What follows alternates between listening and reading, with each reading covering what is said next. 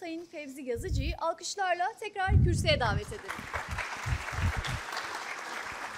Fevzi Yazıcı, an artist behind bars, a prolific Turkish artist who codifies life with design. A career full of successes, numerous media awards, his work published in dozens of newspapers and magazines.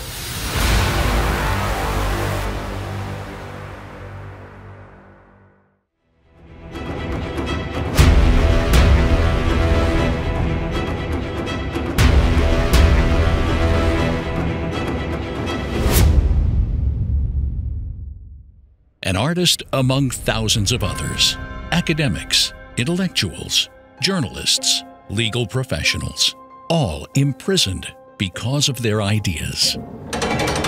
Six long years in prison, most of it in solitary confinement.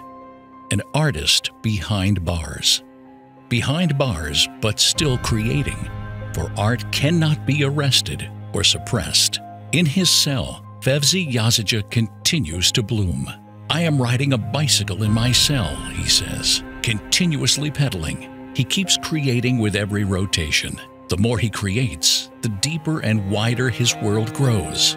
An artist behind bars, captive, but still reading, thinking, writing, and drawing, holding on to life through art, fashioning dazzling works. Fevzi calls himself the paper man, the dark white, trapped in the light. He is like a fetus, making ready with sketches for the day he will be reborn. Fevzi expands time with logos and deepens it with each dot put on the page. His dots are now meeting the free world, declaring that art cannot be imprisoned. There is no obstacle to the freedom of art and the artist.